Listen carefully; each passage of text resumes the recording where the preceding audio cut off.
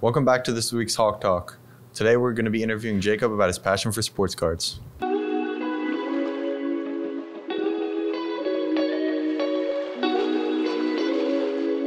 I'm here with Jacob from the Hawk House, and we're going to be interviewing him about his passion. Hi. When did you start collecting cards?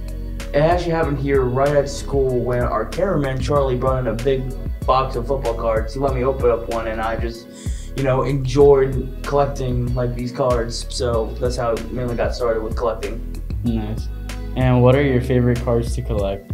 So far, as of right now, it's only baseball, as you see right in front of you, and some football cards. But I do want to start collecting Pokemon. If I knew every single type, so I gotta do some research before I even get into it. But so far as of right now, it's mainly just baseball and football. And what do you enjoy most about collecting cards? Just the excitement of getting like you know a shiny or of one of the like the famous players or one of my personal favorite players. It's just like the excitement and a little bit of gambling at the same time. What is your favorite card in your collection and why? I think of as of right now, it's this one right here, the Bryce Harper Chrome. Not only was this my first Chrome I ever opened up out of a pack, but he's obviously a very famous player. Played for the um, Washington Nationals, hit actually I think over 200, maybe 300 home runs during each season. But sadly, got traded to the Phillies.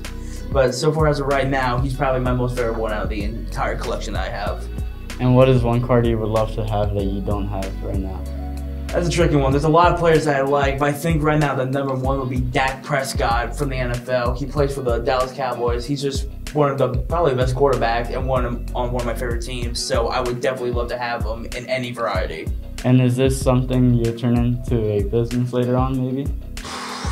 You know, if I had the time, the courage, and the patience to collect so many cards, probably. But I think as of right now, I'm just mainly collecting these. But let me tell you something. If I did start collecting these, it'd be out of the park.